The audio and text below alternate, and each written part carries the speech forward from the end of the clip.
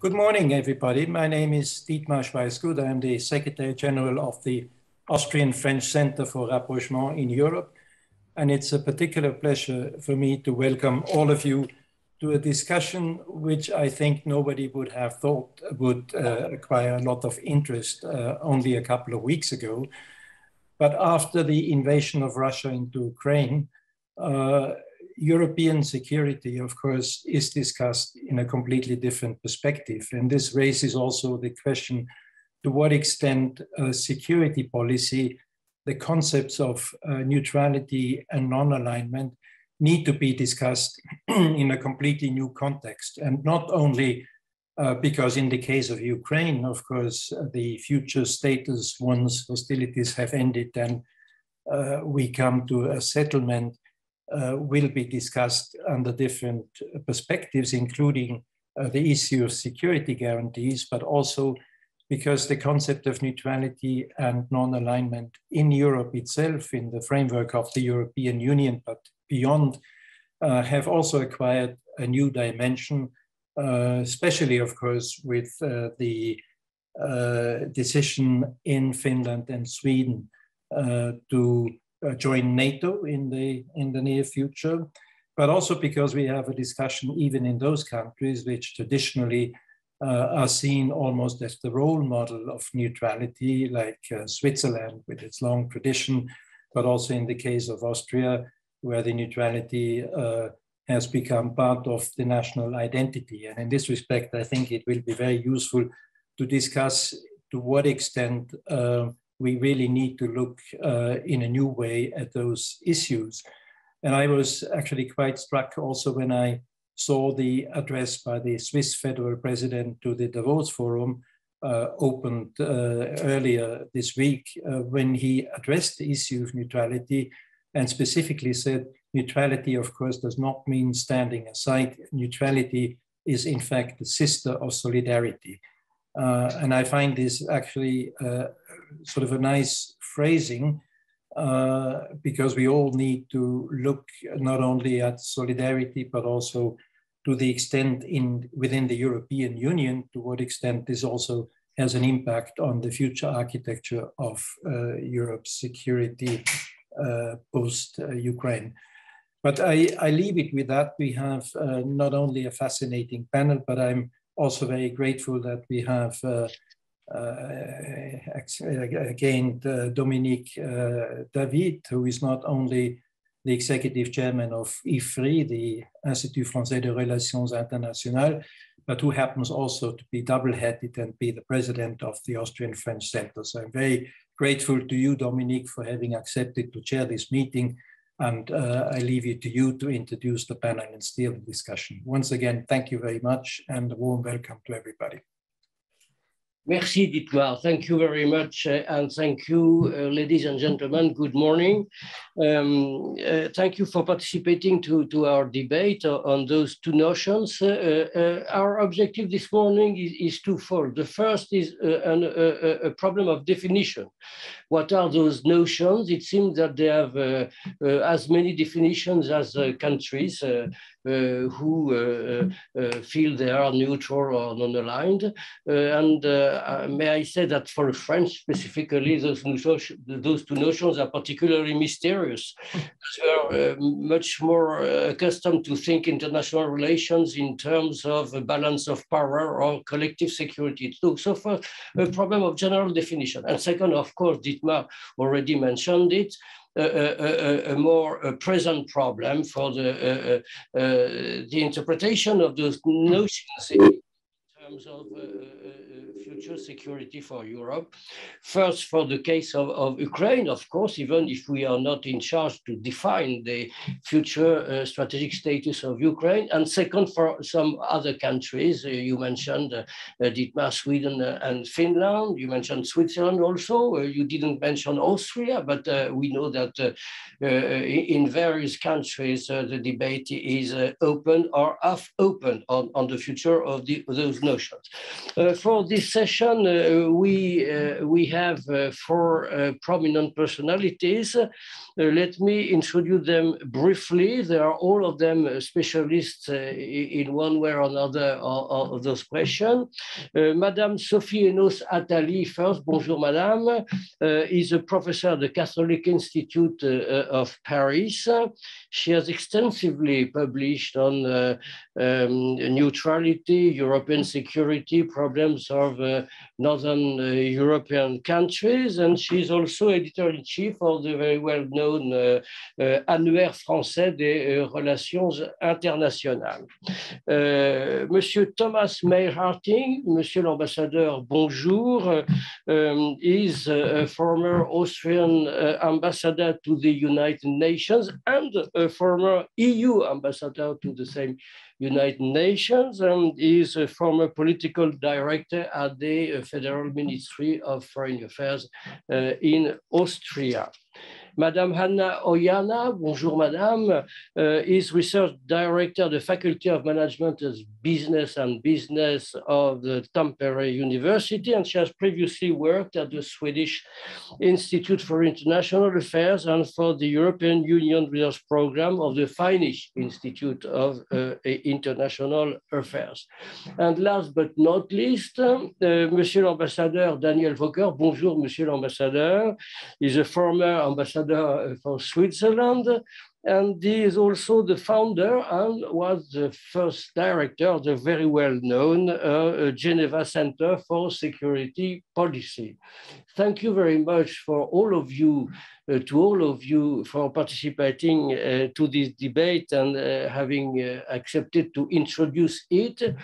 If you don't mind, I will give the floor in the order I mentioned uh, in your biographies. May I ask you to limit the presentation roughly to, to, to 15 minutes, and so we will have uh, some time left to, uh, for discussion and dialogue on those two very uh, important notions. Madame Sophie Enos Attali, euh, vous avez la parole. The floor is yours. Merci beaucoup. Thank you very much. Merci beaucoup, thanks a lot. And thanks to the organizers for this uh, invitation. Um, so um, I am going to introduce uh, the notion of neutrality, what it is on a historical and legal point of view. And um, so let's begin with the word in itself. So the word neutrality comes from the Latin neuter, uh, which means neither and it refers uh, to the situation of a state which remains outside a conflict between several states. But uh, what is neutrality more precis precisely?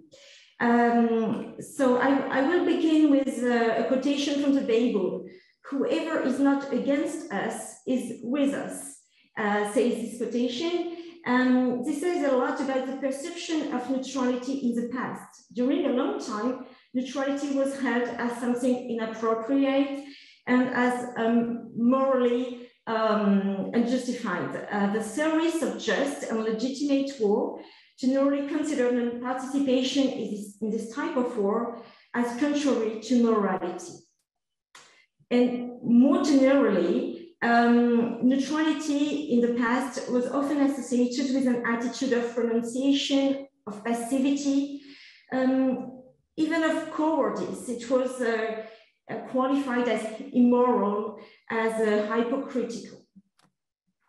Nevertheless, uh, as soon as in the 16th century, neutrality began to be recognized as an attitude that could be uh, valid, um, especially with uh, Hugo Grotius, the, the Dutch lawyer, who said that it may be acceptable for a country to be neutral in a conflict in cases where it is difficult to make the distinction between the good cause and the bad cause.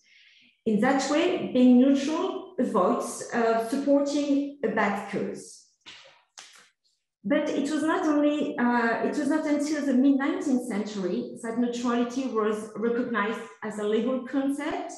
Uh, the first texts uh, where uh, the word appears are the Treaty of Paris of 1856 uh, that ended the war in Crimea and uh, the arbitration compromise between uh, the United States and Great Britain in 1871. And then at the very end of the 19th century, uh, at the Hague Peace, the first Hague Peace Conference, uh, the participants to the conference recommended that neutral powers um, offer their good offices or mediation to contribute to the settlement, to the peaceful settlement of, uh, of a conflict. Finally, um, with the convention number five and number 13 uh, that were adopted in 1907 uh, at, the, at, the, at the Second Hague Conference, neutrality was institutionalized in international law. So as we can see, uh, the perception of neutrality has uh, evolved through history until it was uh, legally institutionalized uh, at the very uh, beginning of the 20th century.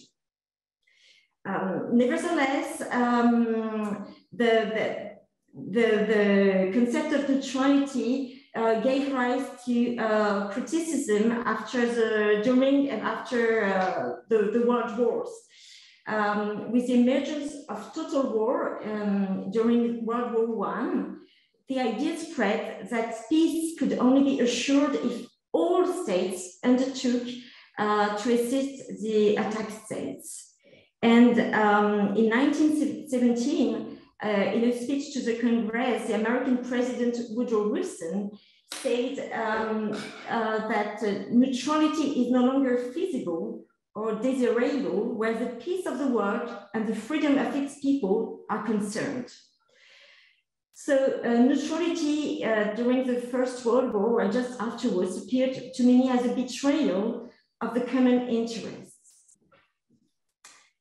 And um, during the Second World War, most of the European neutral states found themselves annexed or had to make um, economic and even military concessions to the stronger belligerents. And after the conflict, neutrality was once again the subject of uh, criticism. And um, the creation of the United Nations raised once more the question of the relevance of neutrality. And the international lawyer uh, Hersch Lauterpacht pointed out that neutrality and collective security are, uh, this is a quotation, mutually exclusive. The more there is of one, the less there is of the other. Um, however, um, even if the UN Charter requires UN members to provide assistance to the Security Council, uh, several countries claiming to be neutral, uh, except Switzerland until 2002, became members of the Collective Security Organization. And um, during the Cold War, um, the, the question of neutrality was uh, neutrality was interpreted quite differently uh, depending on the countries, but I will uh, say uh, a few words uh, later about that. So, um, as uh, I mentioned, it, neutrality was institutionalized only a century ago, little bit more, and its perception evolved quite a lot.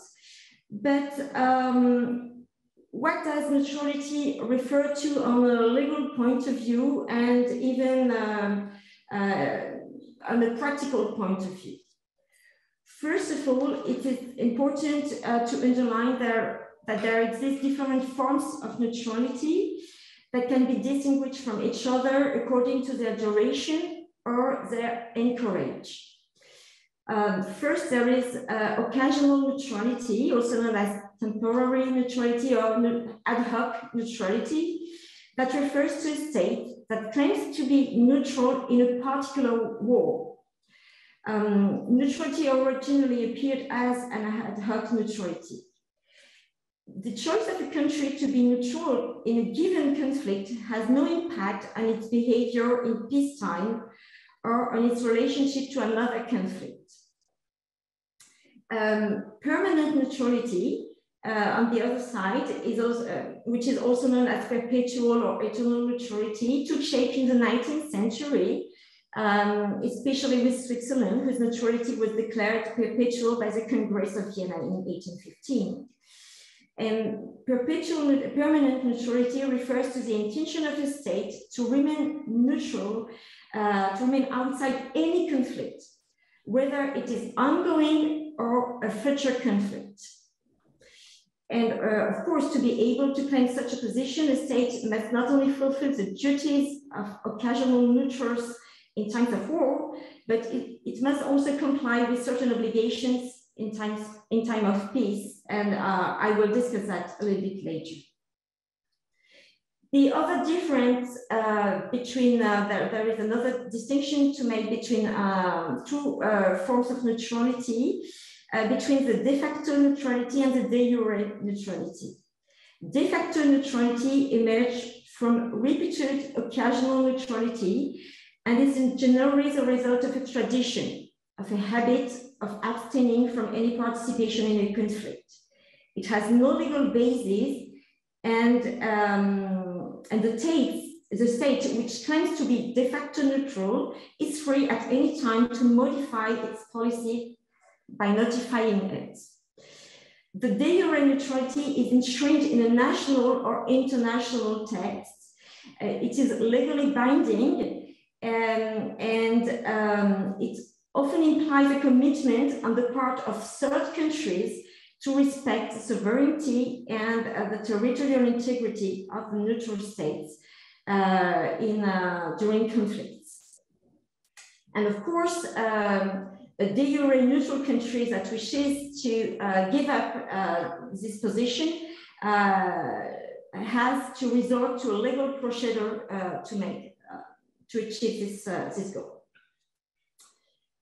So now that we have that we've just made this distinction, what are the rights and the duties uh, attached to neutrality? Um, so the norms attached to neutrality are for some of them set out in legal texts, and for the rest are the result of custom.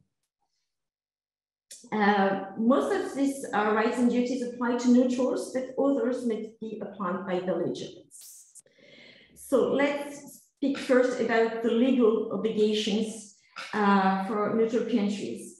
So they, they, they are written in the Hague Convention number five and number 13 that uh, specify the rights and duties of neutral countries in a land war and in a naval war. Uh, first of all, both texts make a clear distinction between the state, which has the rights and duties of neutrality, and the individuals and enterprises under its jurisdiction which as private entities are, not exactly bound by neutrality.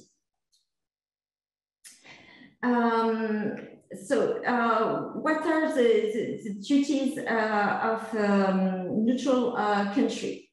Uh, according, uh, I, I, um, I chose to, uh, to follow the, the, the Finnish researcher Arto Hakovirta, who distinguishes four categories of duties uh, the first duty is the duty of abstention, which, pro which prohibits neutrals from giving any military support to a state at war. The second duty is a duty of prevention and defense that enjoins neutral countries to ensure that the status of neutrality is not violated. And in the event um, of a violation of this neutrality, neutral countries have to defend themselves. Um, and they can resort to all means at their disposal uh, to, uh, to reach this goal. The third duty is the duty of tolerance, which obliges the neutral to accept the intervention of belligerents the high seas in the circumstances of economic blockade or smuggling. smuggling sorry. And, um, and finally, there is a duty of impartiality. Neutrals uh, are supposed to treat belligerents in the same way and uh, but in the same time, um, they are not obliged to trade on the same qualitative and quantitative terms with all parties to a conflict. Regarding the duties of belligerent countries towards neutrals, they are quite limited. The belligerent countries are obliged to respect neutral countries, in particular their territorial integrity. So they, they may not use the territory of neutral countries for military purposes. These uh, are the legal um, provisions regarding neutrality, but beyond this, uh, besides these provisions, there exist uh, customary practices, also referred as uh, referred to as secondary duties. And um, behind the secondary duties lies uh, the following idea. Uh, permanent neutrality is only viable if it is internationally accepted. And for this to happen, it must generate a sufficient degree of confidence on the international arena. There was, um, therefore, the secondary duties consist in a specific behavior, not only in times of war, but uh, also in times of peace. The first duty of a country that wants to be credible as a neutral uh, country is to pursue a policy of persuasion. This consists in providing proof that it will be able to be impartial in time of war so concretely, this involves adopting an, an aggressive, uh, respectful and predictable attitude. But uh, of, of, course, it also involves uh, not to enter any alliance that could eventually lead to a participation in a war. Um, the policy of persuasion also consists in offering actual and potential belligerents a positive image of neutrality. Neutrals uh, ha have to convince the other countries of the, of the usefulness of neutrality.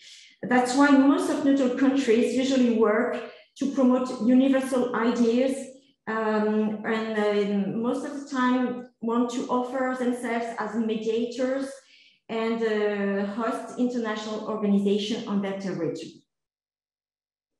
All these duties are meant to make neutrals appear as a factor of stability on the international area, arena and um, to give a positive image of neutrality.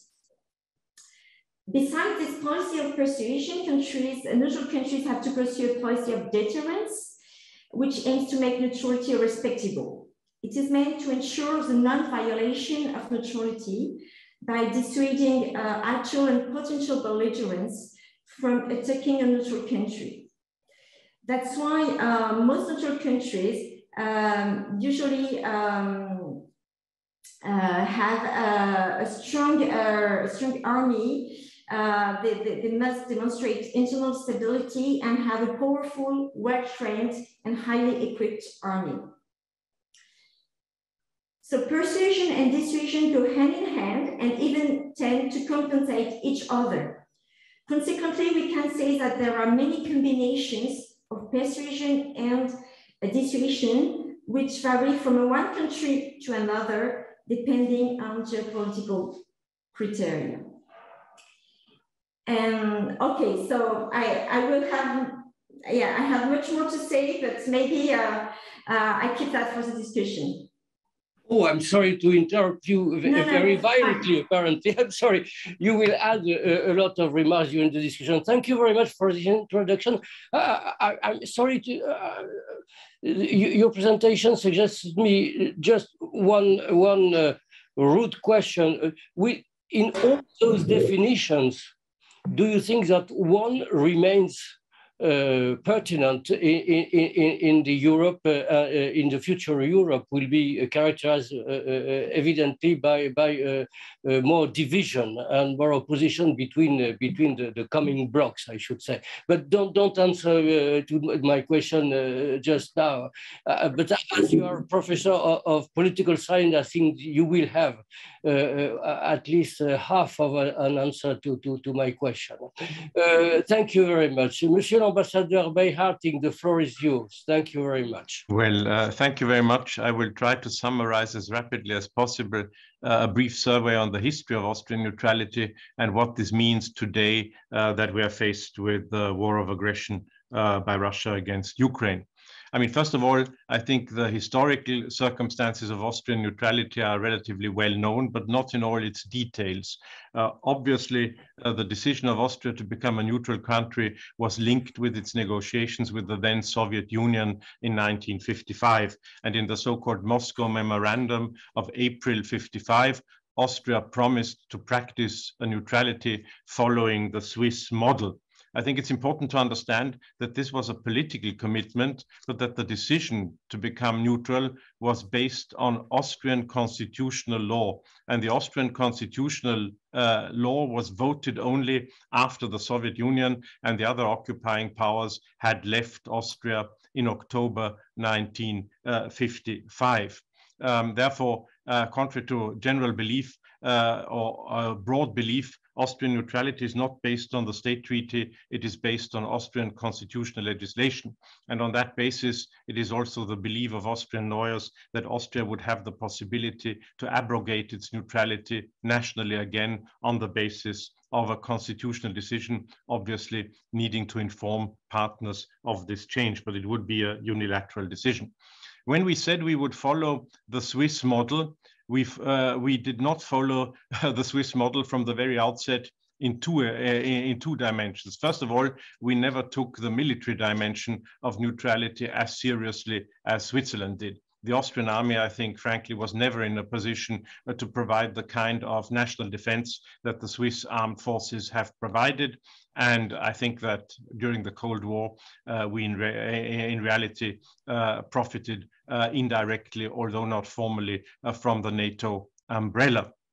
I will then speak of the situation after the end of the Cold War in a minute. On the other hand, we accept that we followed uh, a policy which we called active neutrality policy, which led to an engagement in international relations that went beyond what Switzerland uh, considered fitting for a neutral country, at least at the beginning. We joined uh, the United Nations in 1955, uh, whereas Switzerland only joined the United Nations in 2002, and Austria became a member of the United Nations uh, Security Council for the first time in 1973, which Switzerland will be doing next year, if I remember correctly, for the first time uh, in its history.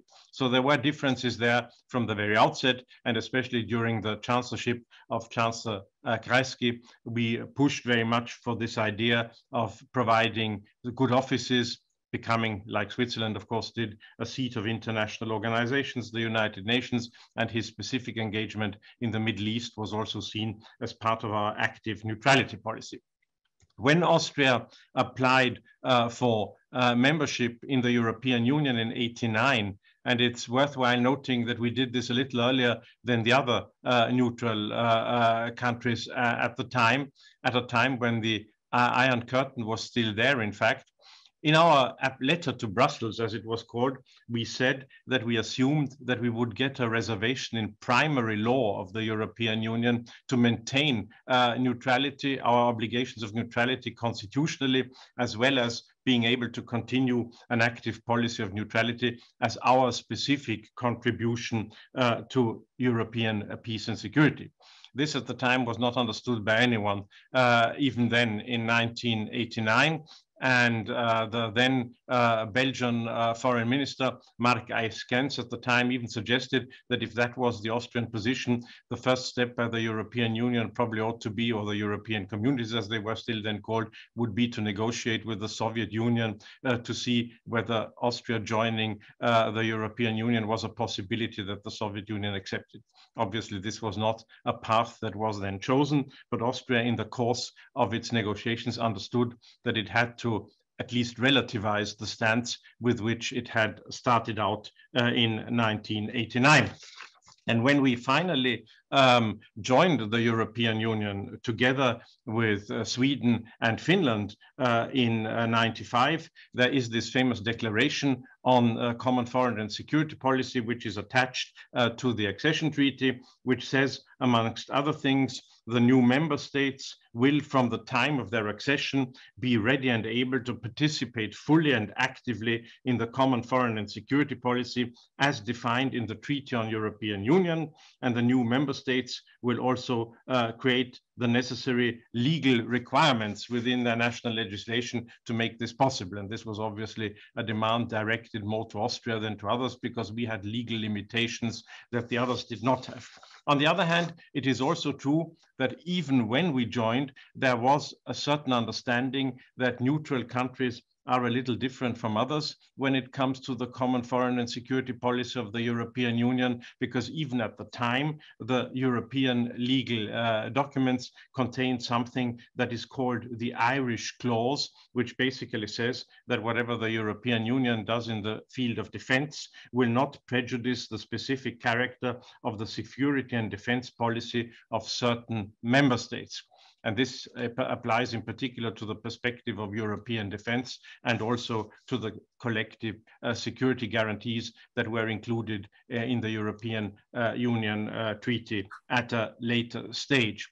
So there was always a certain understanding uh, within Austria and also I have to say uh, from Finland and Sweden at the time who pushed for this uh, for this clause that we would not be subjected to obligations that would force us to completely abrogate neutrality. But we, what we did do, as we had promised, was adapt uh, the Austrian legislation in this uh, uh, context and we entered the Austrian constitution is more flexible than other constitutions in the sense that you can simply add a new article to the constitution that then abrogates partially at least articles that are already in the constitution. And in addition, we have constitutional laws uh, which are outside of the overall, uh, the basic constitution like the constitutional law on neutrality. But we, amongst other things, we voted in 98, uh, and this is sort of a fascinating subject for Austrian constitutional lawyers, perhaps not necessarily to the same extent uh, to everybody else. We voted uh, uh an article to the constitution, which is the Article 23J, which says, amongst other things, Austria participates in the common foreign and security policy of the European Union on the basis of the relevant title of the Treaty on European Union. And it, uh, it mentions, amongst other things, the fact that we participate in European Union sanctions, that we can participate in crisis management, and it even mentions the possibility of Austrian participation in operations by combat forces uh, in crisis management. So in reality, what this uh, uh, article did, uh, 23J, was that it reduced Austrian neutrality to what we call the, call the core elements of neutrality, in particular, the fact that we will not join an alliance, but it made it possible for us to do things that are in contradiction with what Mrs. Enos Attali uh, just explained as uh, common principles of neutrality, in particular the duty of abstention and impartiality in certain circumstances, as I will then uh, um, explain on the basis of what has happened uh, since we joined, uh, uh, since the, Euro the, the war against Ukraine erupted. But the problem was, of course, that these changes, which are quite important, uh, were never, I mean, they were voted in parliament, they were voted with the necessary constitutional majorities, but there was never uh, a substantive discussion with the Austrian public on what had really happened. I mean, there's a broad belief in the Austrian public that we continue to be neutral as we were, and nobody has really fully understood the very far reaching impact that this legislation uh, can have on, uh, on uh, the way we exercise our security policy.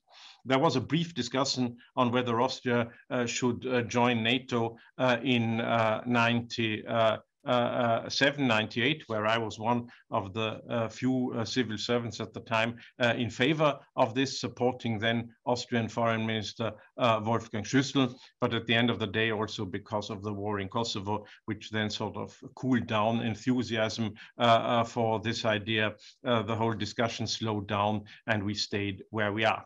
Now, uh, one of the, I mean, the, the European Union enlargement in particular has fundamentally altered the geopolitical situation of Austria in two extents. The one is that on the one hand, we are now surrounded uh, with the exception of Switzerland and the Principality of Liechtenstein, uh, by NATO countries on all sides.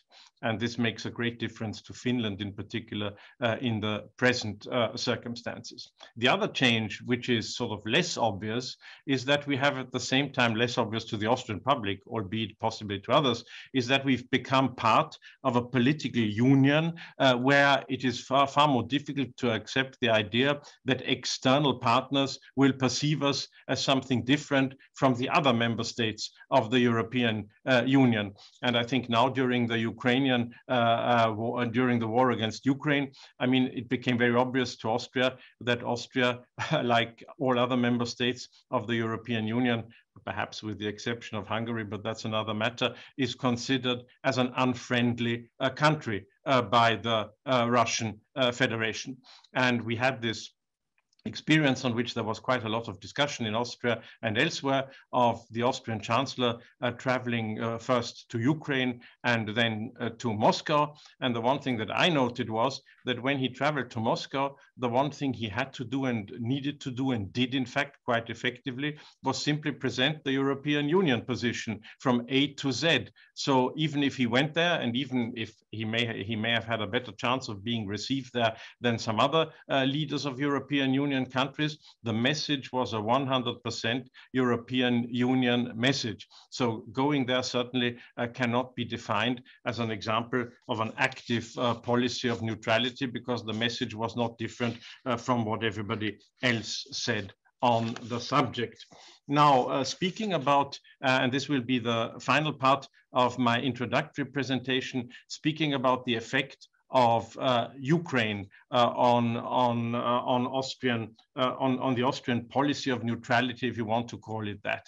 Uh, the, we have, as you know, uh, participated in all decisions, one way or the other, uh, affecting Ukraine within the European Union. Regarding these uh, CFSP uh, decisions, which uh, provide um, military, which foresee the provision of military material to Ukraine, we have, that is true, used a possibility that is foreseen in the Treaty on European Union of constructive abstention. But constructive abstention basically means that we made this decision possible for the rest of the European Union. Uh, we are in fact involved in the financing mechanisms. I mean, it is too complicated uh, to explain all the details, but we are. And we are, uh, we have accepted in accordance with the Treaty of European Union that this is a decision that commits the European Union as a whole. And then when you speak about constructive abstention, it is worth noting that uh, the article in the treaty, Article 31, uh, says that in a spirit of mutual solidarity, the member states concerned shall refrain from any action likely to conflict with or impede union action based on that decision, and the other member states shall respect its position. Now, I mean, uh, uh, ref, uh, refraining from any uh, decision that could uh, potentially impede that decision basically means that we have to allow the transit uh, of this military material over Austrian territory, because blocking the transit of these arms that are delivered to Ukraine would, in my um, opinion, create an impediment. So we had to create a legal basis to allow for the transit of these arms. And that was done, and I won't go into all the details, precisely on the basis of that Article 23G that I mentioned earlier on. So in reality, and I mean allowing for the transit of arms which are finally destined to Ukraine uh, is, exa is, uh, uh, is exactly a violation, uh, to be completely frank, of the duty of abstention that would normally apply uh, to a neutral country, as Mrs. Enos Attali explained. So we have a clear case here where under the Austrian constitutional legislation that we have, the obligations of solidarity within the European Union have taken priority over the classical obligations of neutrality. And I think this is a very important first step.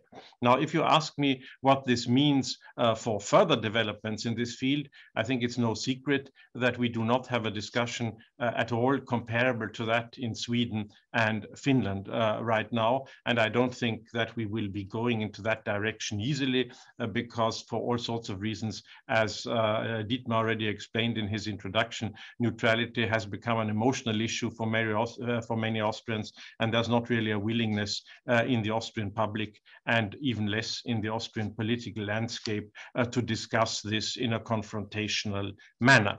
The next challenge that we will have, and that is my concluding point, is how we now deal with the future of the Austrian army. Because in fact, like everybody else, uh, we have also discovered with territorial war having become possible in Austria, and we can speak about the threat perception afterwards. We simply need to do, finally need to do more uh, for our defense forces. And the Austrian Minister of Defense has announced, and this has been generally supported, that the Austrian defense uh, budget will basically be tripled uh, in the next years from a ridiculous 0.5% to the GDP of something like 1.5% of GDP. Now, uh, of but now, of course, if that is our understanding, it would be quite useful to know as a first step what we will use that all that money for. And that, of course, requires some sort of reflection on what the future of our defense will look like. And in particular, when it comes to territorial defense, if we will do that on our own or if we will do that in combination with others. And there, of course, we do have the mutual defense clause in Article 42.7 of the European Union Treaty, which we could rely on. But if we do that, we have a completely different type of structure of our armed forces because they would have to be interoperational uh, in a manner uh, that uh, you would need to look at. And it would also open up all sorts of issues uh, on training. And there, by the way, uh, although the Austrian uh, debate is very carefully skirting around NATO and if at all only focusing on the European Union. I mean, everybody who knows about these things knows that territorial defense will remain for a long time the prerogative of NATO. And Article 47 of the European Union Treaty even says so explicitly in Article 47, uh, uh, 42, sorry, 7, that for member states of NATO, they will continue to do their collective defense commitments in the framework of NATO. So in a certain sense, this is also an issue about interoperability with NATO. It's also an issue about training with NATO, something that Sweden and Finland have done for many years uh, including on Article 5 uh, scenarios. So all these questions arise. I don't expect dramatic changes in Austrian uh, security policy uh, in the months uh, and years to come, but some important decisions will need to be taken. And there is a certain level of unrest, I should say, amongst experts, Uh, diplomats and others uh, at the sort of slowness uh, with which this discussion is progressing in Austria. I think that's what I can say now, and I'm happy to complement later on in our discussion. Thank you very much. Thank you very much, Mr. Ambassador. Merci beaucoup. Uh, I'm afraid that my question uh, for you will be the, roughly the same that the previous one. Will it be possible for in the future, considering the position taken by the European Union in the Ukrainian crisis, will it be possible, imaginable that uh, to remain a member of European Union, uh, remaining neutral? What what does that uh, what does that mean? And uh, uh your last remark uh, uh, is very important. enhancing a defense system uh, doesn't mean nothing um, out of a logic of operationality and interoperationality uh, of interoperationality and interoperationality means uh, a, a, rapprochement with NATO uh, uh, or with or with countries members of the European Union who are mainly members of NATO. So that's the thing.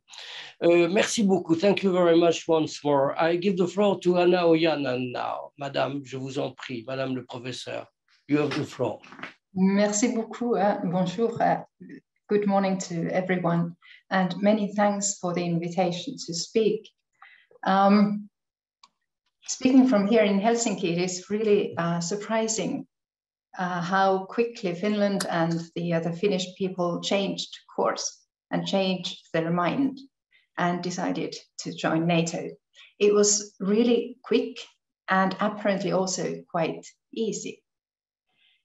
And there is practically no crying over the end of non-alignments that one could hear now. There is one reason I would like to highlight uh, in particular that might explain this situation. And it is that in the Finnish case, neutrality and non-alignment have been instrumental in character. They have not really been a policy goal or a question of identity. And uh, this links to the broader thoughts on neutrality and non-alignments. As we already see now, there is a lot of variation in thinking, uh, a lot of variation as to what neutral and non-aligned countries mean with that policy. and why the policies are adopted in the first place. So, uh, instrumental in character. And one might add here, only instrumental. But uh, perhaps that would be too dismissive. Even for Finland, neutrality and non alignments have been important, perhaps even vital. And even for Finland, uh, they have come to be an important part of how the country and the people see themselves in international relations and also how the rest of the world sees Finland. And this is why I think that this uh, step to NATO is at the same time a big step and a small step. It is big in the sense that it means a lasting change of policy, a, uh, a lasting change also of reference groups for Finland, something that has always been very important to be seen as part of the right company, so to say. So it is a, an end of an era. But in practice, it is a very small step, as Finland already was so close to NATO as an enhanced partner. Uh, so, put really very simply, one could say that Russian behavior of late has changed so profoundly that Finland has needed to change the instruments of its security policy. And the new instrument is called NATO. Now, I'd like to go shortly back in time to uh, how it used to be and how Finnish thinking has related to more general ideas about neutrality. Now, one way of seeing neutrality is to look at it as a third way, perhaps, between two blocks, uh, between two blocks around two superpowers. Um, perhaps a third way with some morally strong ground, at least at times, uh, not being part of arms race or other rivalries. Uh, the Finnish experience, as you certainly know very well, starting from uh, 1948, was that of being tied into the security system of the Soviet Union by the Treaty of Friendship, Cooperation, and Mutual Assistance. And there, Finland needed neutrality to be able to have some breathing space uh, or room for maneuver. Uh, it claimed to be neutral, but it got a formal recognition for its neutrality by the Soviet Union only in 1989. Anyway, uh, the Finnish way of being neutral, it was to build good relations to uh, the Soviet Union, to the East, in order to have the possibility of building the necessary relations with the West. But Finland was really very cautious. And we see this in an interesting way in Finland's, in the way Finland approached different international organizations. Uh, Finland couldn't join the United Nations nor the Nordic Council before uh, 1955 uh, with uh, the um, some detentes that we had at that point. Finland did not join EFTA uh, as such. It uh, signed a special Fin-EFTA treaty with the other EFTA countries to tailor that um, treaty or organization in a way that was found suitable with its position. Um, it had to see to all possible mm, ways in which the organizations were related to the West, so to say, and be careful uh, not to commit itself to too much. It did not join the Council, the Council of Europe at all. It joined only uh, in uh, 1989.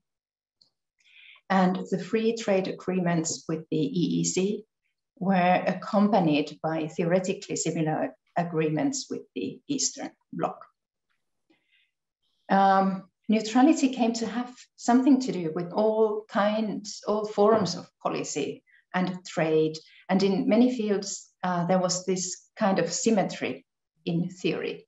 For instance, Finland bought nuclear power plants, both from the East and from the West. Then uh, with the uh, Conference on Security and Cooperation uh, in Europe uh, that was in Helsinki in 1975, Finland perhaps started to get more of an internationally active role. And similarly, uh, the UN peacekeeping activities were something that suited Finland well. It was an activity where being small and being neutral uh, provided uh, a good reputation and also uh, something where a good reference group could be found, um, constituted by countries like Sweden and Ireland. Neutrality had that positive image attached to it. So the core of neutrality, that was the idea of room for maneuver or freedom of movement.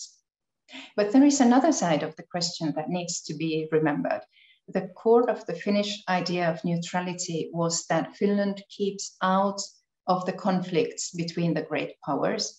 Uh, and this was also interpreted as keeping a certain distance from both the Soviet Union and the United States. Um, then at the end of the Cold War, as we know, meant quite a change to this. Finland decided to join the EU following Sweden. Uh, and uh, its first contacts with the new NATO councils that NATO had for countries interested in membership.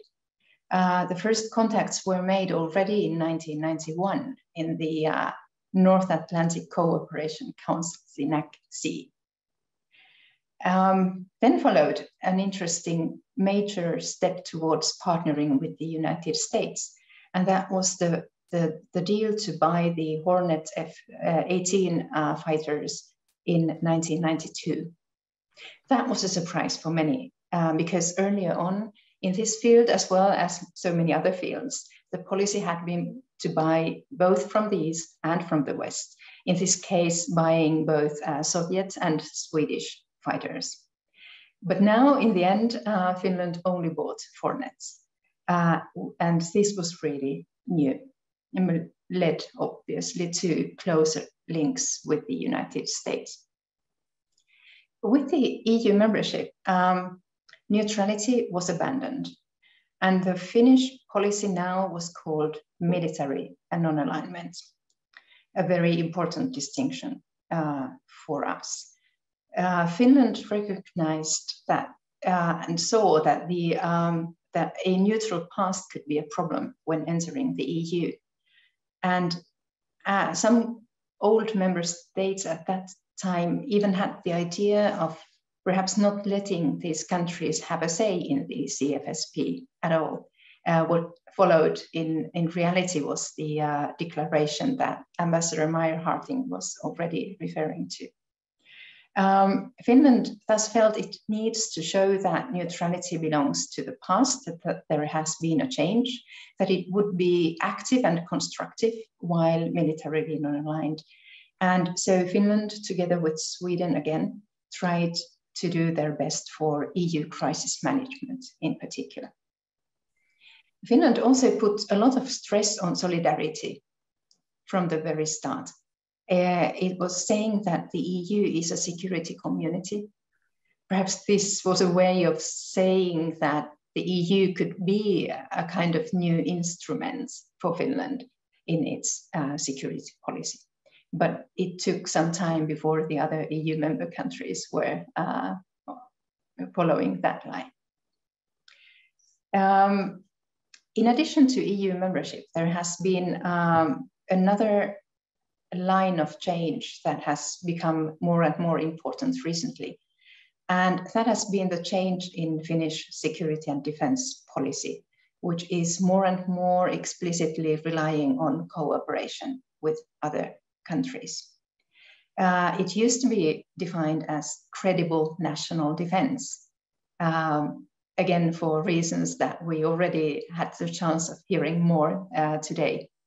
Uh, but from credible national defense, the, uh, the, the description has become more a uh, web of uh, cooperation agreements on cooperation in security and defense, different bilateral, trilateral, multilateral agreements with different countries. il a disparu.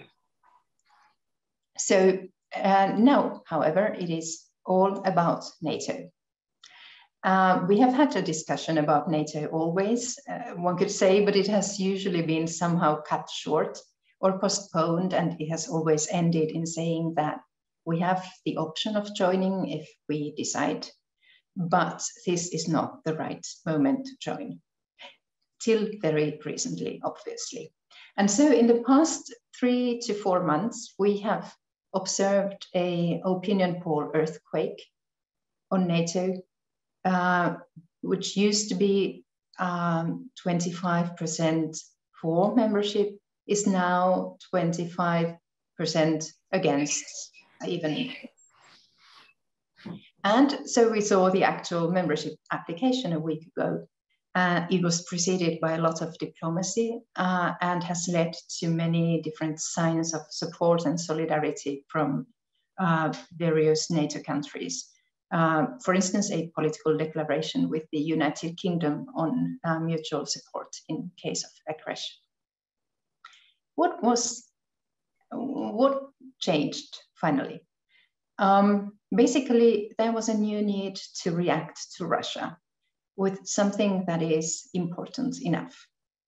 The, the Russian actions have been such that the, the response from the Finnish side needs to be remarkable and needs to be outstanding in a way, such as a complete policy reversal in a sense, and also going explicitly against what Russia was uh, advising. At the same time, it is important to see that we have some elements of continuity, particularly when it comes to the way all this is argued for. So the, uh, the discourse, in a sense, uh, doesn't change that much. Above all, the idea of uh, room for maneuver is still there, only that now it is best guaranteed by NATO.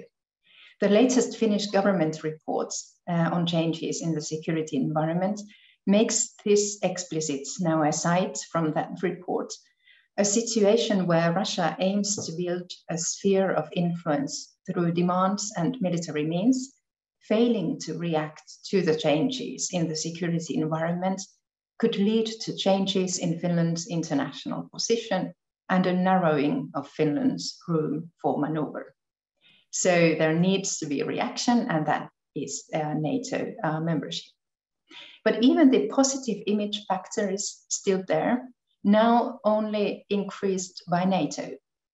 Uh, the president uh, of the Republic, uh, Sauli Niinistö, underlined in March that NATO not only has uh, deterrence uh, potential, but it is also likely to have a positive impact on international perceptions of Finland.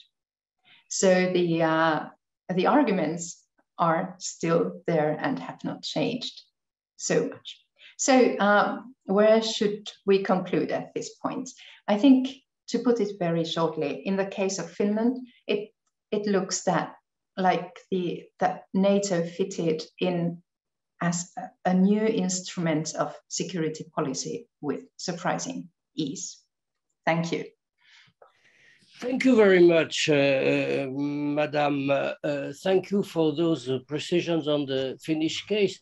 Maybe we, you, you, you will uh, give us some details on the change in your military forces that will be uh, produced by uh, the, the, the, next adhesion, and particularly considering the eventual, the possible uh, reaction of Russia Uh, with new deployments uh, uh, close to your frontier what will uh, be the uh, the consequences on, uh, for example, deployment of troops in Finland and so on. Um, thank you very much. last but not least, if there is one neutral left in Europe, I suppose it will be Switzerland, Monsieur l'Ambassadeur. So you, the floor is yours. Merci beaucoup. Je suis pas tout à fait sûr. Ladies and gentlemen, good morning. Happy to be here. Uh, I will start out with two citations. The first goes, even Switzerland stands with Ukraine today. President Biden said that in a little aside when he had a big press conference on international sanctions. The second citation is a, a little less complimentary, and I cite Swiss lawyers and bankers to the Russian rich have not been idle. That was the Financial Times. Ladies and gentlemen, you will see from that that I will concentrate on the practical side of uh, Swiss neutrality. How does it look like now after what we call in the German-speaking countries of, Swiss, of uh, Europe eine Zeitenwende? How does it look like when even Switzerland has realized that all on its own it cannot security policy-wise go further? My presentation is in three parts. What is Swiss neutrality today? The second is the individual parts of Swiss neutrality. And the third is now what? Where we go from now. What is Swiss neutrality today? The concept of neutrality, ladies and gentlemen, today in the Europe of the European Union is dead, quite simply dead. It was in the interest of Europe in the 19th century, in the 20th century, but at the very least, at the end of the Cold War, the uh, the importance of neutrality as such, including Swiss neutrality for the outside world, has ceased to exist. Except for exa- except of course in the case of the Ukraine war for Russia, who would have hoped that Switzerland would take a position which actually would have not been neutral. Because if we hadn't taken on the uh, same sanction that the European Union decided on, we would have been, in fact, uh, supportive of Russia. Some negative sides of Swiss neutrality, of course, linger on, go on, as the second uh, citation showed very clearly, and I'll come back to it. How does Swiss neutrality today look in Switzerland? This neutrality over the years has become very much of a national myth in Switzerland. We are neutral because we are always neutral. It is a very emotional uh, uh thing in Switzerland, just as our colleague from uh, Austria said that the point of departure in Switzerland uh, when confronted with a foreign policy problem is always we are neutral, but of course we are against injustice just like anybody else. Does, does that have to change? It probably will. But let me first look at the individual parts of uh, Swiss neutrality. The first one is economic neutrality as I already said, economic neutrality in the Ukraine war is, of course, non existent and has to be non existent for any kind of democratic, uh, law abiding country. And Switzerland uh, counts itself very much among that uh, European core and, and the core of these countries all over the world. Russian economic interests in Switzerland are quite important. It's not always realized or only in pointed comments like the one I cited that we are actually what we call in German ein Schwergewicht, a, a poids lourd, where our economic interaction with Russia and Russians are very important. 80% of Russian uh, raw material exports are being traded through Switzerland. Of course, they will not, they do not come physically to Switzerland, but they're traded by trading firms, especially in Geneva and in uh, Zug, that little Swiss uh, canton, which is especially famous for having very low taxes. But also in wealth management, uh, Russian interests in Switzerland are quite uh, are quite big, and uh, the Swiss Banking Association, at the very beginning of the Ukrainian war, has cited a figure of roughly 200 billion uh, Swiss francs, which is about the same as, as, as euros and dollars, at that uh, of, of, of wealth of Russia and Russians in Switzerland, especially, of course, Russians. So far, not even 10 billions of those have been sequestered by the Swiss government. And actually, the figure is going down right now because our authorities say that some of these uh, restrictions have been applied to the wrong people. Switzerland could clearly do more in that respect and is also asked after the ritual thanks for what Switzerland has done, and it has done some things, be it in Davos right now or somewhere else, is always, well, um, could you please see to it that the Russian wealth in Switzerland is also being seized? We have a bit of a problem with this because under Swiss law, it's not the state that goes to the banks, to the financial intermediaries, to others who might manage Russian wealth, but it's rather the other way around. These actors have to report back to the government how much Russian assets they hold. That is not so easy because these Russian assets have already before the war, but especially since the very first hours of the war, been hidden, put into foreign trusts, and so forth and so on. But basically, there is a certain truth in saying uh, in, in what is being said abroad that Switzerland should do uh, a little bit more. The question right now in that respect is, should Switzerland join the bodies both in the EU and in the US who actively go after Russian uh, assets? Second part, after the economic neutrality, the security policy. Now, the call went up in Switzerland, of course, too. Security policy wise, we cannot go on like this. Alone, we are clearly too weak. Uh, Switzerland might not have a border with uh, Ukraine and even less with Russia, but it was clearly realized that we cannot go on on, on we cannot go on, on like we have before. And uh, uh our colleague Thomas Mayr-Harting said uh, Austria has increased its defense budget from, I quote, ridiculous 0.5 and wants to triple it. We had the same percentage with all the uh, famous or not famous uh, reputation of the Swiss army that goes back way into the Middle Ages. But you wonder whether it's still true nowadays. We have clearly had, uh, we clearly profited from that much cited peace dividend after the uh, Cold War and have also reduced our military expen uh, expenditures. This has already been corrected. The government, or rather the parliament has, uh, the government and the parliament have decided to uh, markedly increase our uh, uh, budget except I'll have to say for our nationalist rights. Politically, our nationalist right is quite important. It's quite, quite simply the largest party in Switzerland. It participates in the government, and they like to say, no, Switzerland, like we've always done, we should continue as that famous armed porcupine who defends himself. Further part of what Swiss neutrality is today would be those good offices.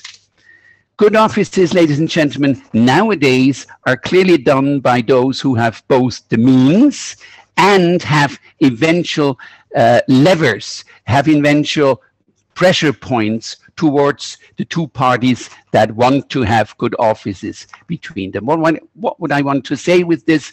In the case of the Ukraine war, it's the NATO member Turkey, if anybody, who could possibly do something between Ukraine and Russia because they have and had uh, also military relations with both sides.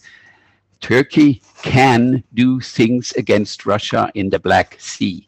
Other countries who have furnished good offices, the one who was absolutely leading in this is Norway. NATO member Norway, who had both the money and the good diplomacy to do this. We did some, we had some uh, Swiss in international uh, good offices positions, but it's clearly not absolutely necessary to uh, to do good offices to be neutral. How about protection mandates? We have some of them. Um, right now, it appears that the Ukraine is discussing with Switzerland whether Switzerland should take a position towards Russia the way Georgia has asked Switzerland to be uh, a protective power or a, a power that takes the uh, diplomatic, uh, it, takes care of the diplomatic relations with a country where there are no direct relations any longer. Georgia has asked that after the two, uh, 2014 invasion of Georgia. So the good of the, the, those protection mandates, those good offices with regard to uh, to uh, uh, representation do exist, but there are many other countries involved in this. Again, neutrality is not necessarily part of it, even though it might sometimes help a little bit. Seat of international organizations, as again Thomas Mayr-Harting has said, uh, Vienna is now uh, an important UN seat, just like Geneva. In the case of Geneva, it's also tradition. Geneva has already been the seat of the League of Nations. That had to do with the, Europe at the end of the of the First World War, and so to continue with a UN seat right after the Second World War in Geneva was quite simply practical because the buildings were already there. Uh, I come to probably the most sticky point or, or, rather what is considered in Switzerland the most sticky point about neutrality today, Swiss neutrality today. The Swiss constitution, ladies and gentlemen, does only very marginally say we are neutral, very marginally. In all the main articles in the Swiss constitution on uh, foreign policy, what should be our position in the world. Neutrality is not mentioned. It's mentioned way back in the constitution among the tools, as Hanna Ojanen said so good, the instruments of foreign policy, but not the purpose of foreign policy. In that sense, the Swiss constitution is probably, is not only probably, is less restrictive than the Austrian uh, the Austrian federal constitution, we know, of course, very well because, uh, well, uh, we have already heard that uh, Austrian neutrality had to be taken after the Second World War. International law. We heard from Sophie a very interesting and very informative uh, resume what in what neutrality means in international law, but it's very important to say that neutrality is self-imposed. A country is neutral because it wants to be neutral. Of course, once you're not neutral any longer, you have to tell everybody uh, we've taken this and this kind of foreign policy uh, that has changed, etc. But it's very important to say and in Switzerland, that is not understood by a wide part, even of the population, that there is no international obligation imposed from the outside of being neutral. We are neutral because we want to be neutral. That can change basically whenever we want. Third part of what I wanted to say, what now? NATO, EU, for more, uh, more allied, for more connected security policy profile of Switzerland. As I said in the beginning, there is a realization in Switzerland too that the Zeitenwende Ukraine Ukraine war has changed things. NATO, interestingly enough, NATO that before the Ukraine war was always was hardly ever mentioned in the Swiss context. Now, all of a sudden, a bit like Sweden and Finland, but of course not with the same consequences, is now in the middle of the discussion. Uh, what can we do to get closer to NATO? And again, with the exception of the nationalist right in, in Switzerland, everybody asks that question. We are members since quite a long time, since the 90s of Partnership for Peace in NATO and do a few things there. But if we really want to go a step further and beyond all these, uh, there, there, are lots of special uh, construction or uh, word construction here.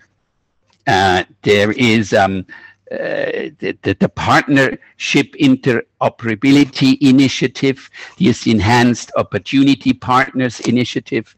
But we have to realize, and I think in Switzerland that realization is sinking in, if we want to to move closer to NATO, closer than the Partnership for Peace. It means common armament, uh, common procurement, maybe not common armament, common procurement, common training, common exercises, and common structures. Is Switzerland really ready for that? The internal discussion about what it means in particular, a bit in parallel with Austria, has really not been uh, done or has not been, the discussion has not been had in Switzerland.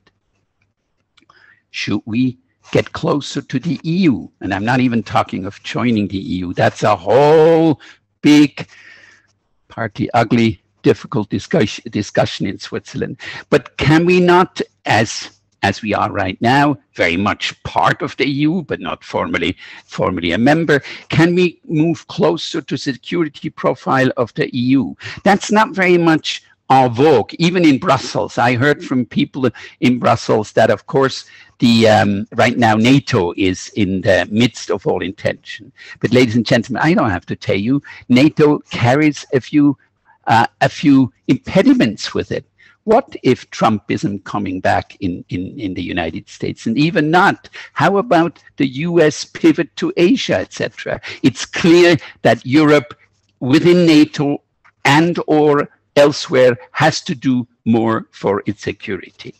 Here, there would be possibilities for Switzerland. Uh, for example, uh, I think it was Carl Bildt, the former Swedish uh, prime minister, who pointed out there's an article 42.7 in the EU treaties that is in fact quite similar to, to the para five, uh, paragraph 5 of the NATO Charta.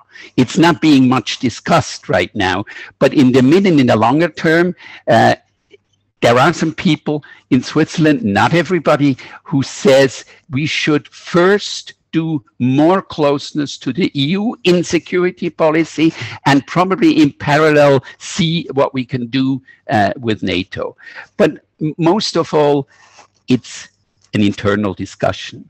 We have a tendency in Switzerland to always uh, do some navel gazing, to look at ourselves and then discuss with ourselves. So as a conclusion, I would say, don't expect Switzerland to say in the very in, in the future, in the very near future, we're not neutral any longer. But actually, as things goes, as Europe develops, as the Ukraine, uh, Ukraine war becomes more evident, uh, as aggression in Europe has come back, we are no longer neutral. As Switzerland and as Sweden and Finland chose, things can change very quickly. Thank you very much. Thank you very much, Mr. Ambassador. I'm, I'm not absolutely sure that your the last presentation clarifies very well the conceptual problems of neutrality. Thank you. you are neutral, but you are no more neutral. So my first question, uh, opening the, the, the uh, a new round of uh, uh between between the panelists, my first question will be very simple. What is left of neutrality precisely in Europe? Uh, it's not only a theoretical question. Do you think that we have to define some new sort of neutrality or uh, to get rid of the notion? That's my, my, my first question. My, my second question is, is a, a, remark. I'll give you a secret. When we have thought of this uh, panel, the first question in our mind was the future of Ukraine because uh, uh, some uh, weeks ago, the question was to define some sort of status for, for the future, future Ukraine, um, no NATO, etc. You, you, you, know, do you, the, the, and, and I'm very struck by the fact that practically no one mentioned this problem. So, uh, uh, is this the, are these notions of neutrality or non-alignment still pertinent at least partially to think some sort of future for Ukraine or not. i I know it's an enormous problem, but maybe you can uh, make some uh, allusion to that. So I, I suggest uh, one more remark uh, for the external participants. Please write your questions, and I, I, I take uh, them into account, uh, of course. So could you react to the presentations of the other panelists and to some some questions maybe raised by those presentations, including, for example, including, of course, Dietmar, if you have something to to say just now, Dietmar. Uh, Madame Enos-Attali, would you react first to, to, to those uh, uh, remarks and presentations? Yes, sure, thanks. Um, my first remark uh, will be that uh, in the past, neutrality was considered as a good solution for small states. Uh, first, for small states that uh, wanted to, um, to assert that sovereignty towards, for example, a former dominant power, such as uh, Ireland, towards uh, Britain and Malta also, and of course, uh, in a way, Finland uh, towards Russia, or the USSR, sorry. And um, usually when we thought about neutrality, it was considered as a good solution for countries which were located in buffer zones between um, two uh, great powers or two um, blocks, two rival blocks. And um, as um, the ambassador Thomas Mayr-Harting uh, mentioned it, uh, this was uh, relevant for Austria during the Cold War, which was between uh, NATO members and between uh, members of the Pact of the of the, the Warsaw Pact, sorry, uh, the Warsaw Pact. So it used to be considered as relevant for small countries that were under the circumstances needing to assert its sovereignty toward a former dominant power or being uh, for countries constituting uh, buffer countries between uh, two, two rival blocs.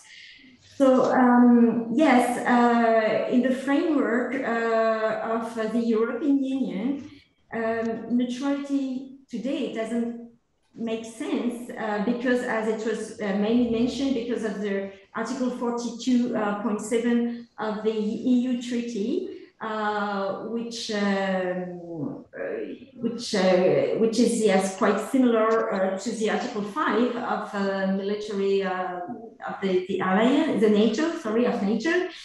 And um, and especially on a geopolitical point of view I mean uh, I think with Britain, uh, Ireland has asserted its sovereignty towards Great Britain, and um, uh, Austria is not and is not more uh, a buffer country between uh, two blocks. It's in the middle of, of NATO. And um, so regarding Ukraine, because your question was uh, also in the end about Ukraine, um, I think that in a way, Ukraine few weeks ago could be seen as yes, between two, um, two blocks, I mean the NATO one and Russia on the other hand. But uh, once more, and uh, it was very important, uh, Daniel Woker um, underlined it, uh, neutrality has always been uh, an act of sovereignty, you know, and so uh, since it's not the choice of Ukraine. Neutrality, uh, the neutrality of Ukraine is not uh, an issue. Thank you very much, uh, Monsieur, Monsieur l'ambassadeur, Monsieur l'ambassadeur Mayr-Harting. Uh, may I add uh, one more question, which, it, which is arrived on my uh, in my office by Guido Lenzi, who was who used to be the director of the uh, WEU Institute uh, in Paris. Ambassador Mayr-Harting, you skipped over the, 90, uh, the 89 Pörtschach Declaration by the EU defense minister, an initiative that Austria took in joining the EU which led to the EU taking over defense measures from the Western uh, European Union. I think you mentioned that uh, with the article of Lisbon Treaty, but uh, the question is for you. Um, well, thank you very much. In fact, I answered that question directly to Mr. Lenzi in the meantime. Okay. I sent him a note. I mean, basically, uh, the Pörtschach was uh, very much a product of the declaration of Saint-Malo at the time and of France and the United Kingdom. But it is true that uh, during that presidency, we also organized the first ever informal meeting of ministers of defense of the European Union. So it's true that Austria tried to promote this uh, European dimension over time. Uh, I would say that um, when I was involved in the discussions in the 90s of whether Austria should move away from neutrality, the basic question was whether membership in the European Union and membership in NATO, that is to say, full Euro Atlantic integration, are not basically two parts, two sides of the same medal. And following obviously the enlargement in 2004, uh, um, where all the uh, basically everyone, uh, with the exception of, of Cyprus and Malta, who are very specific cases, again uh, was member of the European Union and, and, NATO. This strengthened this whole discussion. And I do think that with what is happening in Finland and Sweden right now, you're back to that discussion again. And I think that Professor Ojanen was very clear about the NATO priority uh, in the perception, the security uh, perception of Finland right now. And I also think that what we are seeing in Ukraine, including the reaction by international partners, has probably uh, strengthened uh, the Atlantic dimension uh, of Euro-Atlantic security. But uh, Austria was not ready to go down that path. And I mean, I take note of the tremendous change that has taken place in public opinion uh, in Finland, but we are still around those 15 or 20% uh, maximum uh, in favor of uh, uh, NATO membership and 80% in favor of maintaining neutrality. Can you remain neutral within the European Union uh, today? Legally uh, the uh, I mean the the preconditions are there. I mean with this sort of Irish clause that I referred to, with the fact that it doesn't oblige you uh, to be a member uh, of an alliance when you join uh, the European Union, and that's why we uh, why we sort of limited our neutrality to what we call the core, that is to say, non-membership in a military alliance, non-stationing of troops, foreign troops on our territory, and non-participation in wars. And as far as the last point is concerned, uh, allowing for the transit of arms uh, to Ukraine uh, under strict uh, concept of law of neutrality is in a certain sense already participation, indirectly at least, uh, in, in a war, and therefore I think we have limited uh, the effects of our neutrality. I think we can continue to do that even more, and I think we will do so. Uh, the, the, the, the, truth of the Austrian situation is that we continue to call everything we do neutrality, uh, but we have readapted it uh, to the circumstances. And I think to move that step that we don't call it neutrality anymore, that will be a very difficult step vis-a-vis -vis the Austrian public, but to move on uh, with a greater, um, with greater um, integration one way or the other, I think that is something that may well happen. I do in fact have a question uh, to uh, Mr. Woker, uh, to Ambassador Woker, because I was fascinated, frankly, more than by the Finnish discussion, because I mean, everybody understands the specificity of Finnish geopolitics. From an Austrian viewpoint, I was fascinated by the Swiss discussion. And I heard things like, I mean, if you uh, uh, basically, I think the, it was the leader of the Liberal Party in Switzerland, the president of the Liberal Party, who basically said, if you're neutral and if you're attacked, the moment you're attacked, the obligations of neutrality are dropped because once you're attacked, you can defend yourself whichever way you, uh, you find useful, find allies wherever you can find them.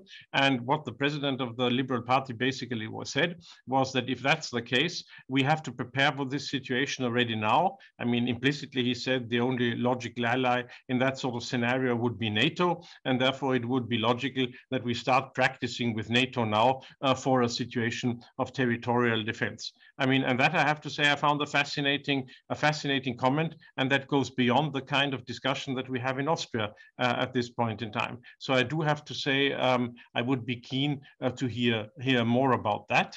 As far as our future participation in the European structures are concerned, I think the, the, the, the, dilemma that we're facing is that it's easier in the Austrian uh, discussion to move along uh, the European Union channel than along the NATO channel. I mean, it's it's much easier in Austria to say we will move forward on Austrian security uh, on European security and defense than to say that we're getting closer to NATO. But in real terms, when it comes to territorial uh, uh defense, I think uh, right now uh, um, developments in Ukraine have rather strengthened the the role of of NATO in the overall structure, as I already said. And finally, just a brief comment to your question on Ukraine. Obviously, it's for the Ukrainians uh, to decide uh, what they want.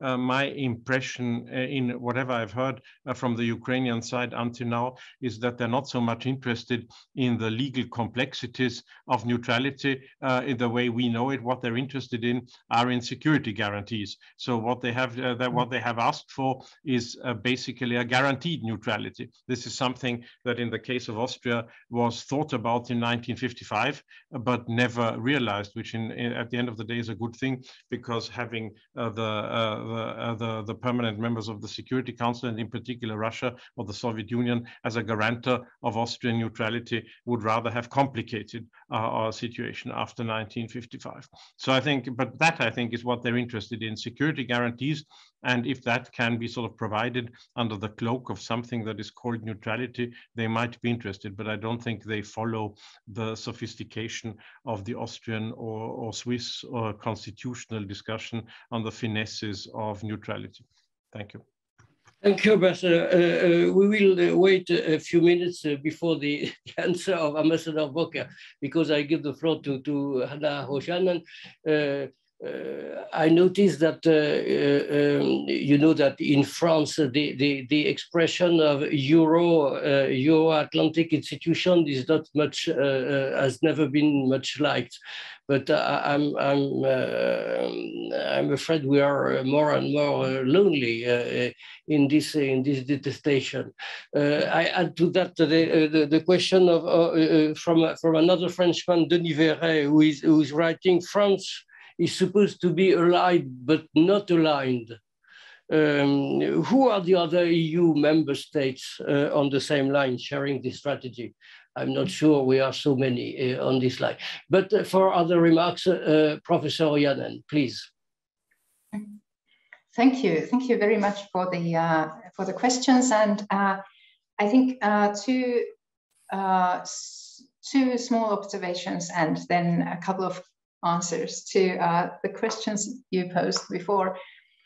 Um, it just, uh, I was just thinking uh, when discuss, discussing uh, neutrality in broader terms that uh, the, the need for neutrality to be respected by others uh, may have also to do with the overall situation when it comes to international norms and rules and whether they are respected or not. Um, and there we might see a, a difficult uh, situation now more than before. And on Ukraine, uh, we already heard important uh, uh ideas on that. I think that um, any um, closer relation between uh, Ukraine and, and the EU, uh, something close to membership, um, may quite naturally include security and even defense policy kind of parts. And also, we need to think about how the EU NATO relationship evolves and what that means uh, in the long run. When it comes to the more specific questions uh, about the uh, the consequences of the, the current changes in Finland for the military and the Russian reactions, these are exactly the questions that are debated here every day for, from morning to evening. Um, the, the changes in the military, they are not big. And as we heard from Ambassador Woker when he was speaking about what the what closer forms of cooperation there are in NATO. Uh, that is exactly how our situation was. So all that training exercises, uh, cooperation was already there. And so from there to membership uh, doesn't change that much. More people will be working for NATO in the headquarters. Uh, there will be, of course, common planning and uh, intelligence sharing uh, that we didn't have, but the practical changes are not that much. There is the interesting uh, example of, of uh, that we had some problems with the uh, NATO-related trainings where Article 5 was somehow invoked. Uh, they were problematic, but of course they won't be problematic any longer. Um, when when it comes to the Russian reactions, really shortly, um, Russia promised um, all kinds of uh, reactions, um, these famous military technical ones, and people were were uh, preparing for all kinds of eventuality, eventualities, uh, cyber uh, attacks and things like that.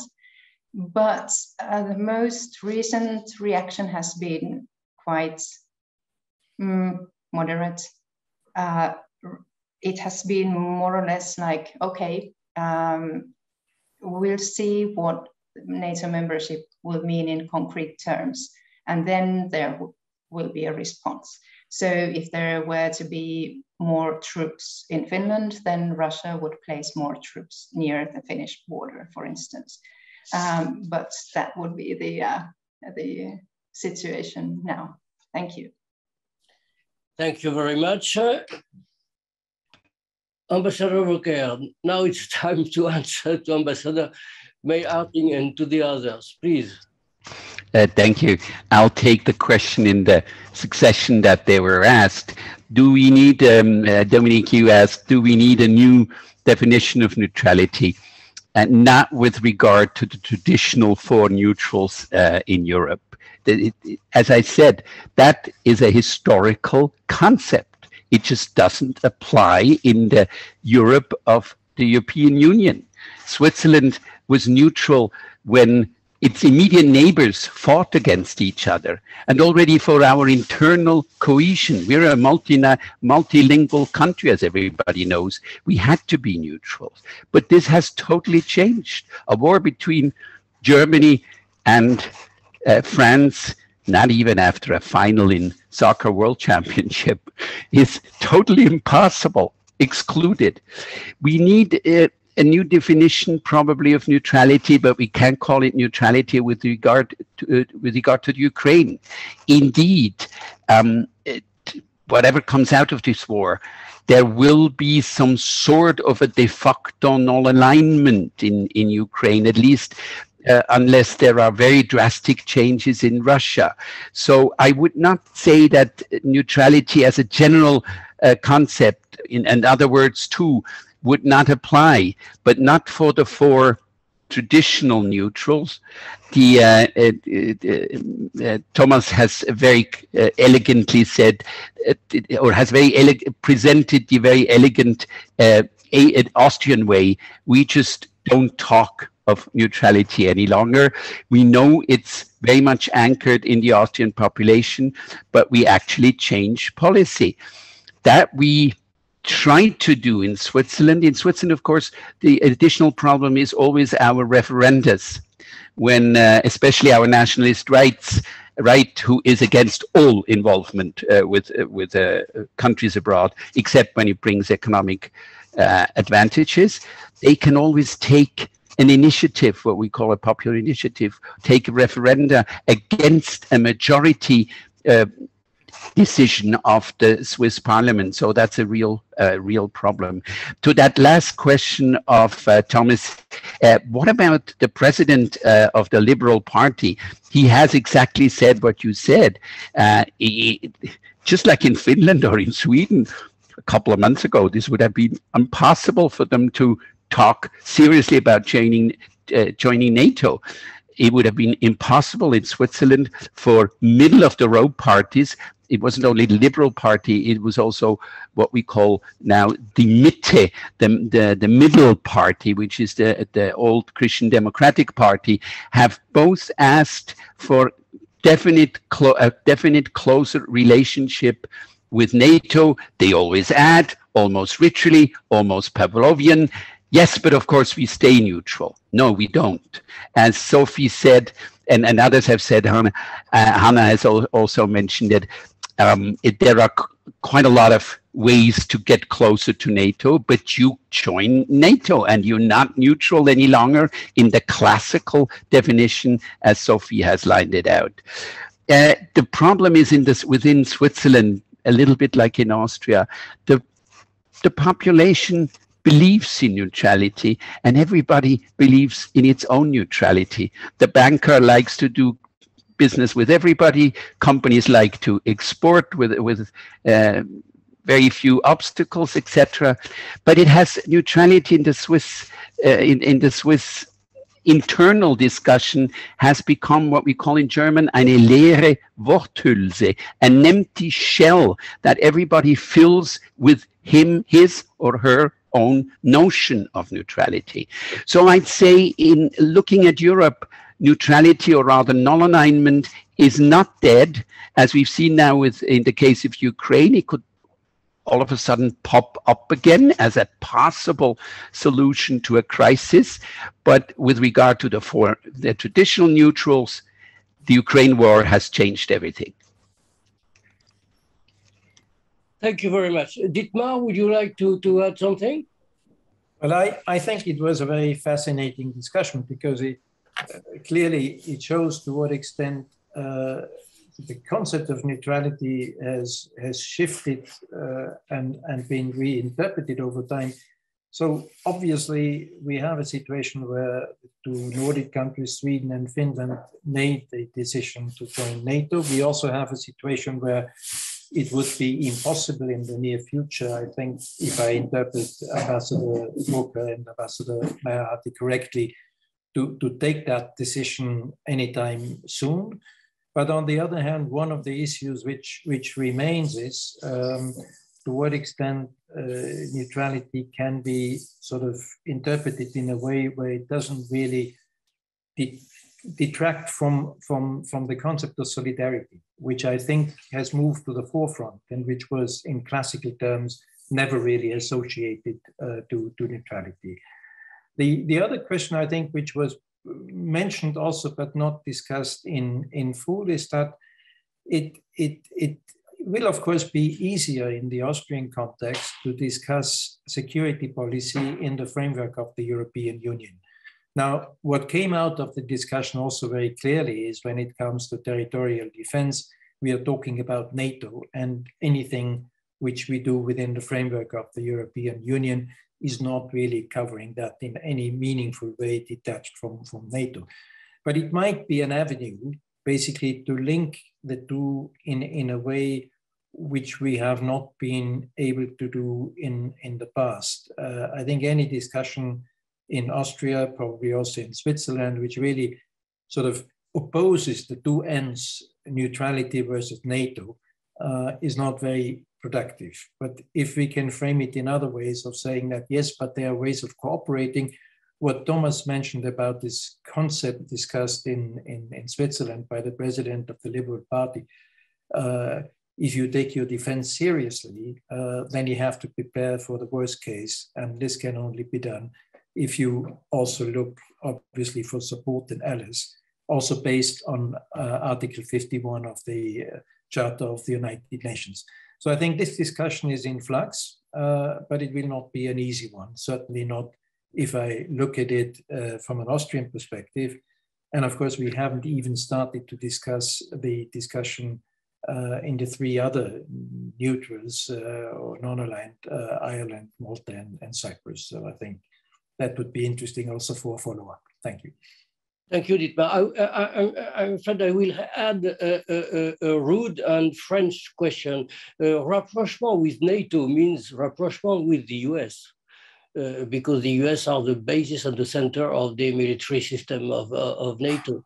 Uh, in that context, do you think that the future will uh, uh, let uh, some chance to the definition of a more specific and more uh, reinforced uh, uh posi collective position of the Europeans within NATO, or is it uh, also to be to be forgotten? Thomas Mayr-Harting was also ambassador to NATO, so he would like to say something. Well, I'm not sure that I'm I'm qualified on that basis to speak about discussion amongst NATO members. Uh, I do think that it's an interesting dimension. I think the real problem is, to be honest, that um, developing the European security dimension as everything that happens in the European Union is based on, would, would need to be based in particular on Franco-German leadership. And I think to be a little more direct than I've been so far, that the experience of the international reaction to what is happening in Ukraine has not necessarily been that the main factor in keeping Ukraine going has been uh, Franco-German leadership. Uh, to be honest, I mean, uh, and uh, if you look at the reaction of the of the Germans, if you if you look at the reaction in particular of our Eastern Euro or Central European partners. Uh, if you look at the role that the United Kingdom, regrettably no longer a member of the European Union, is playing right now, there's this whole dimension. And if you look at the Finnish and Swedish decision, I think everybody is saying, including in Austrian newspapers, that these two countries have come to the conclusion that Article 5, when it comes to territorial uh, defense, uh, is, uh, uh, is a safer guarantee than Article 42, 7 of the European Union Treaty. So I think that um, developing the European dimension in security requires will amongst European Union member states, and in particular amongst those who are the leaders in so many other issues uh, France and also Germany. And I think we're following the very convoluted uh, discussion that Germany is having, uh, to put it uh, carefully, uh, on on the on the on the Ukrainian issue, which in many ways is similar uh, to the to at a different level to the Austrian discussion, because I mean we have the same historical baggage that we carry with us, the same reactions, etc. And I would say that in the broader Austrian public, there is undoubtedly a certain sympathy with many of the German reactions, but it's not necessarily, I mean, the, uh, the, the, the, the, discussion that helps on moving Europe forward in the field of security. I got another question. I saw that, if I may answer that briefly, on what could be done uh, to promote uh, a discussion in Austria as it happened in the 90s. I mean, I know, I'm not sure about the examples of the 90s, but what I find uh, interesting is the experience that Austria had in the 80s when we discussed membership in the European Union. Because in reality, when we started out in the first half of the 80s, there was less support uh, for membership in the European Union than there is even now when it comes to discussing membership in NATO. And I was certainly amongst all the Austrian diplomats of the time, and I think Dietmar as well, who probably said publicly that it was impossible for a neutral country uh, to become become a member of the European Union. And we then went through this entire uh, experience of discussing with the, with the public. And we had a period in the 80s when the Austrian government, because its uh, its leaders at the time, the foreign minister and Chancellor Vranitzky, Foreign Minister Mock and Chancellor Vranitzky, firmly believed that this is, this is the way that Austria had to go, that they went through a major effort uh, to influence Austrian public opinion. And this sort of then was then taken up by, the, by practically everybody who had a role in Austria. And, uh, and this then changed public perception dramatically. This has not happened so far in the field of security policy. And if you ask me why, I think the answer is that in the 80s, it was considered an existential question for the future of Austria, whether Austria becomes a member of the European Union or not. And, uh, and this, because it was considered an existential question, we had that strong support in government in moving the Austrian public in the case of security policy, I don't think that even the Aust anybody in the Austrian leadership believes that it's an ex existential question for Austria whether we join a military alliance or not, because the general feeling is we can solve the problem in other ways as well. And as long as this uh, perception prevails, we will not have a comparable effort uh, to the one that we had in 80s for in the 80s for the European Union. Thank you very much. Some more remarks, comments? Monsieur l'ambassadeur, je vous en prie. Ambassador Woker. Thank you. Uh, I saw that um, since Thomas took up one of up one of the questions on the on the question and answer, I saw a question: Can Switzerland mediate between Russia and Ukraine? The very short answer, we're starting to run out of time, is mediation no, representation yes mediation is impossible, at least at this time. And Switzerland is certainly not in the best position to do it. It would they, what is needed is people who have real leverage on both sides. We don't. They already talk, they can talk to each other whenever they want. They have channels of discussion, etc. They have also very powerful country that can help them in that. But representation, absolutely. As I said, um, Ukraine is thinking about uh, asking Switzerland to represent it in in in uh, Russia. That is possible, and I would also like to mention a conference later in the summer in July, I think it is in Lugano, which is going to be the first conference on rebuilding the Ukraine. Something like this can always be taken up by a country that has traditionally done those services, such as Austria, such as Switzerland, uh, but also um, uh, one of the Nordic countries. that would be the answer to the to, to that question. Yes, Ambassador, but would you precise a little bit what you mean by representation for the non-specialists uh, in law and in uh, Swiss, Swiss law? What do you mean by representation? Oh, absolutely. It's it's uh, Sophie probably knows more about it. It's an international tool. When two countries interrupt their their relations, you ask a third country to represent you at uh, on the other side, as we do with Cuba since in in the United States since. Uh, or rather the United States in, in, in Cuba since a number of years, as we do with, uh, in the case of United States and Iran.